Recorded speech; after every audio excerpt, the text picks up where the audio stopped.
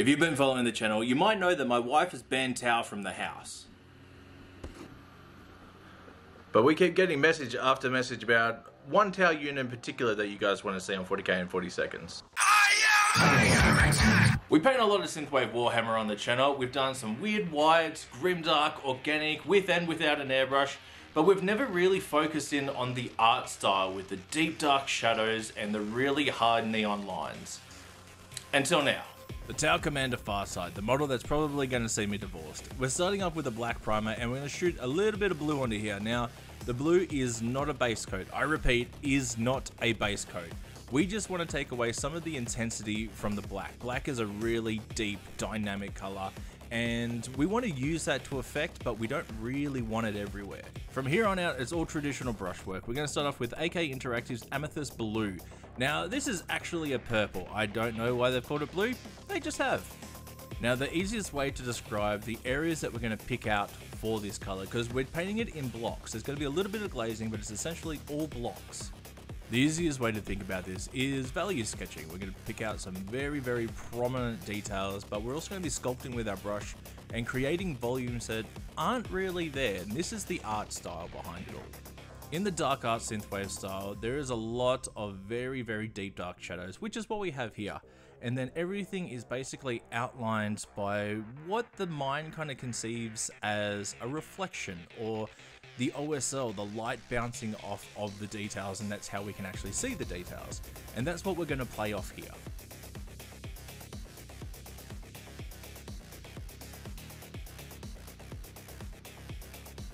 While we're painting in blocks, we do want to glaze out and blur some of the transition, but just a little bit. This isn't going to be super, super smooth gradients. We still want to step from dark to light and kind of jumping up those values as we go. This is what's actually going to give us a little bit more of a non-metallic neon glow effect, which you'll see what that looks like later in the video. And taking that first step into that effect, we need to go around and paint some magenta all over the middle of all the purple parts. This is definitely one of those paint styles where you have to keep repeating to yourself, trust the process. It's not going to look pretty right until the last second.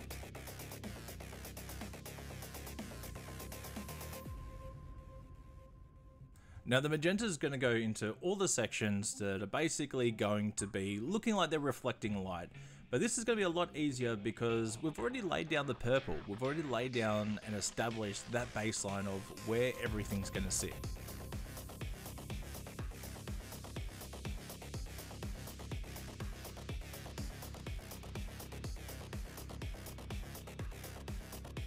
Magenta can be a fairly transparent paint to work with at times, so a couple of coats here is really going to help us out to bring that vibrancy.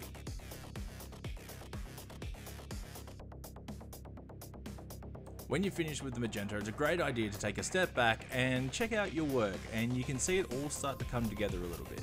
Then we're going to start to blur out the lines between the purple and magenta. Again, this is what's going to give us our neon feel. For the final highlight to give us that glow, we're going to mix in skin tone with our magenta and it's going to create this really bright pinkish tone. It's not quite white, you don't want to go to straight white for this one. That's going to be overbearing. Inside all of the magenta that we've painted on, which was inside all of the purple that we painted on, we're going to paint this color in just little strips and this is what's really going to make the whole thing pop. If it helps, think of this as a lightsaber, where your brightest, lightest color is in the middle, and that's what's giving you your light.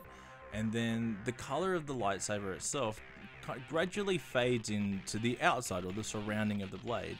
And that's essentially what we're creating here. Or if you want to think of it in terms of highlights, this would be a spectral highlight, where the sharpest edges would be getting the most concentrated form of lights.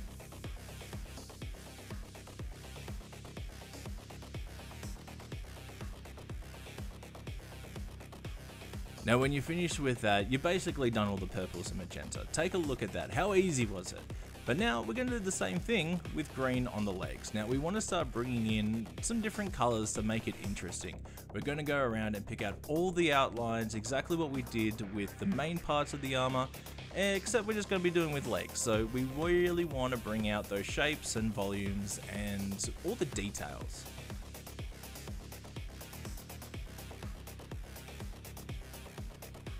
Or even go down to little toesy toes and I decided to do the head the same way.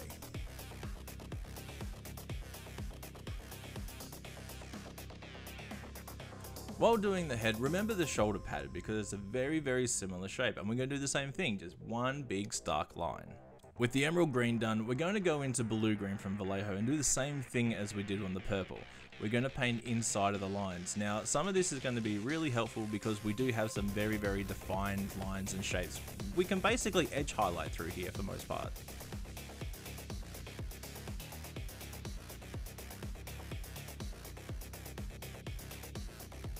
The cool part about this art style is if you have any overspill, you can go back with black and just tidy everything up, get some nice crisp lines. From here we mixed a little bit of AK white into the blue green and we're going to go around and do the sharpest thinnest highlights that we can on the inside of our two colours. Again just like the lightsaber, brightest light source in the middle, colours to the outside.